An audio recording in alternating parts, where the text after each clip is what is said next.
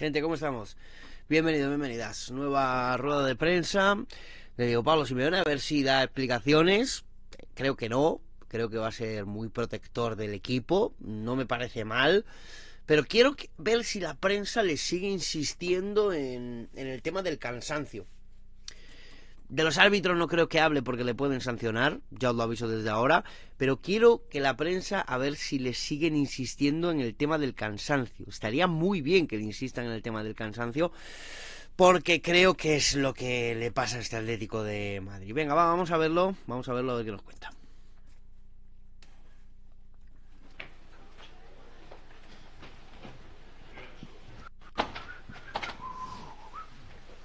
Buenas noches, vamos a comenzar la rueda de prensa de Pablo Simone. Pedir la palabra y pasar el micrófono para efectuar vuestras preguntas. Ahí a la izquierda, a la derecha, Luis. Hola, ¿qué tal, mister? Luis Castro, Castilla-La Mancha Media. Eh, han pasado muchísimas cosas en el partido, pero por ir al principio, eh, la expulsión de Savic, la no expulsión o la acción de, de, Mata. Quería ver un poco cómo lo valoras en un partido de. No va a hablar de los árbitros. Eh, del arbitraje y esas dos decisiones que, que marcan el inicio, aunque ha pasado mucho no tiene sentido hablar de algo que no tiene no tiene solución porque el partido ya terminó. Eh, pero bueno, ustedes bien reflejarán lo que creen oportuno, oportuno eh, opinar en cuanto a este tipo de detalles. Nosotros nos quedamos con que el equipo, después de venir de tres partidos, ¿no? Eh, tres partidos, este es el cuarto que jugamos entre días, quedarnos con un... Tío. No menos. Eh, en el inicio del partido, la primera falta amarilla. Eh... Eso sí es verdad, la primera falta amarilla, eso sí es verdad. Pero yo siempre espero un poco más de autocrítica. Es que, vamos a ver, lo he dicho antes en el postpartido, si tú juegas partidos miércoles, domingo, luego parando selecciones, luego no sé qué, y sigues poniendo los mismos, los mismos, los mismos, a lo mejor el problema es que no estás tan contento con la plantilla que tienes. A lo mejor ese es el problema y no el calendario. A lo mejor es que los suplentes no te dan el rendimiento y los que tú confías que sean titulares tampoco te lo están dando. Algunos. ¿No? Es el cansancio. Es que están fundidos, están muertos. Los jugadores importantes de esta plantilla están muertos. Y no veo ni una pizca de autocrítica. No veo ni una pizca de mirarse el ombligo y decir, vale, sí, es un cansancio. Claro, para no parecer débiles. Joder, macho, de verdad. Eh, bueno, nos genera ordenarnos ahí con dando un poquito más de fuerza con Marcos ahí de interno y Rodrigo, con Riquelme a la derecha y, con Lino a la izquierda y así enseguida pudimos encontrar el gol, que creo que con 11 contra 11 el equipo lo estaba manejando bien, el Getafe es verdad que presionaba muy bien en campo nuestro, pero nosotros teníamos claro que si lográbamos salir de esa primera presión nos íbamos a encontrar con jugadas importantes como pasó en el, en el gol del 1-0.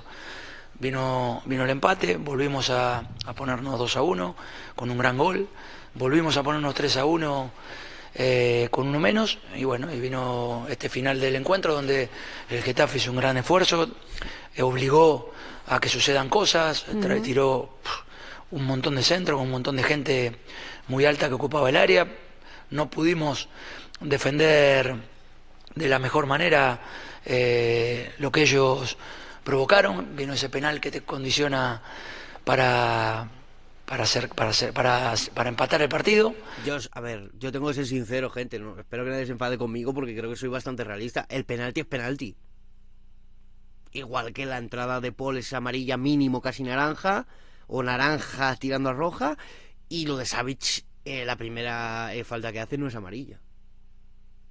Vamos a ser justos. Y bueno, nos quedamos con esa sensación que lo pudimos haber perdido, que si estábamos 11 contra 11 lo podíamos haber ganado, que ganando 3 a 1 pudimos haber aguantado un poco mejor el tiempo, pero la verdad que es lo que hay y empatamos 3 a 3. Vale, o sea, el resumen es, es lo que hay, empatamos 3 a 3. Otro partido, insisto, que el entrenador no agota los cambios.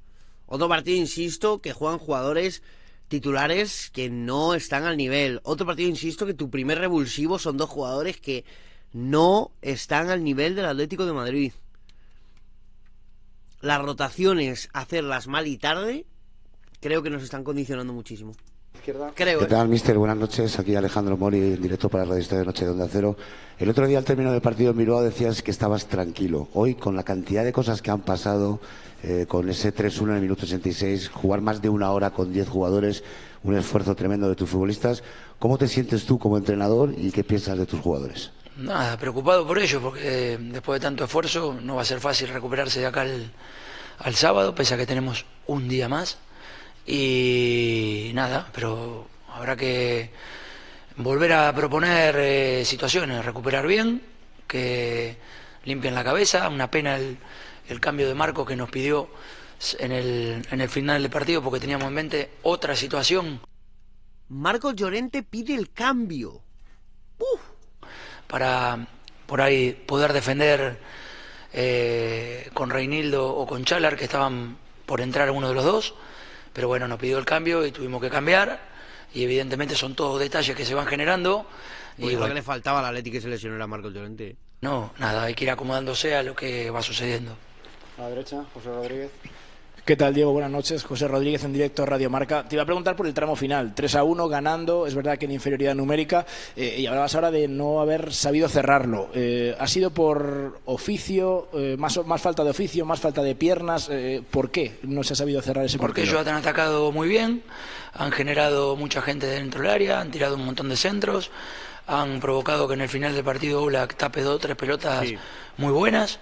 Y bueno, eh, me recuerdo el partido que nosotros jugamos en Gancha de Hecho, por ahí se acuerdan ustedes, que se quedaron con uno menos ellos, perdíamos 1 a 0 y terminamos ganando 2 a 1 con dos goles de Suárez.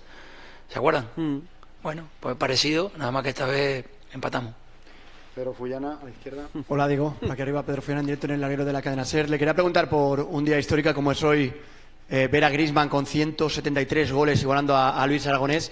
Eh, desde ahí abajo, ¿qué has sentido tú también como leyenda del Atlético de Madrid?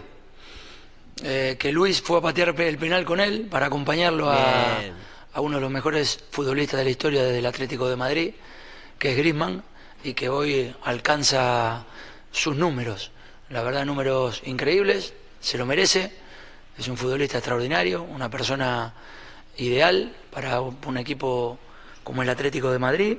Necesitamos futbolistas eh, de, de- de este perfil y ojalá que Eh. lo podamos cuidar y tenerlo con nosotros un tiempo más.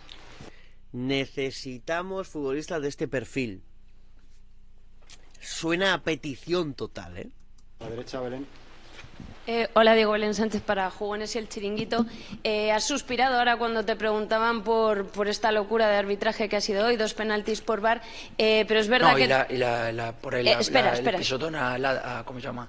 A- a de Rodrigo Rodrigo. también, ¿no? Sí, también, Claro. en la de Mata, sí. Esa discrepancia ¿no? entre Savic y Mata, esa primera amarilla directa.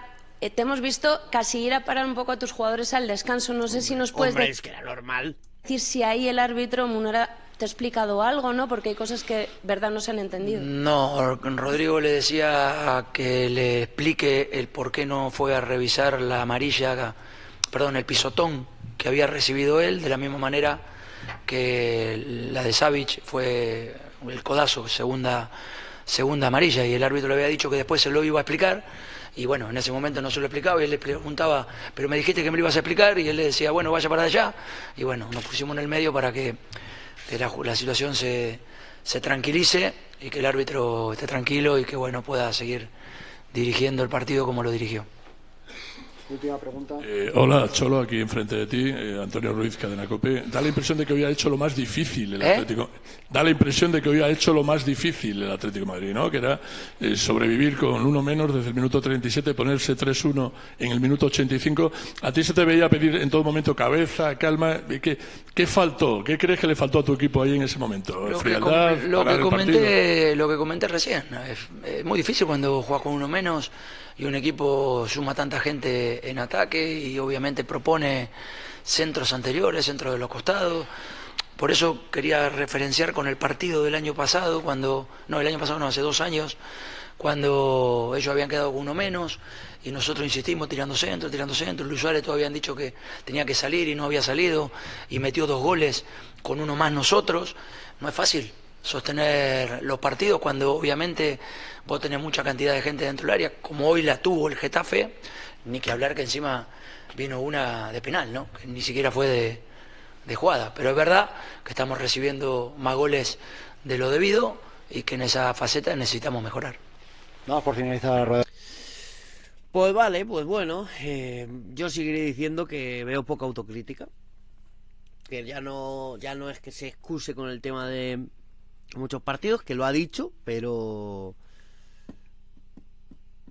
Pero bueno, eh, el tema del arbitraje está claro que no se puede quejar, no puede decir más que lo que ha dicho, ¿no? Pero me ha preocupado lo de el cambio de Llorente, preocupación con Llorente y la petición, para mí petición, no sé que vosotros me lo dejéis en los comentarios, pero no sé si vosotros lo pensáis, petición de um, más jugadores como Griezmann. Ahí lo dejo, ¿eh? ahí lo dejo. Nos vemos gente, chao chao.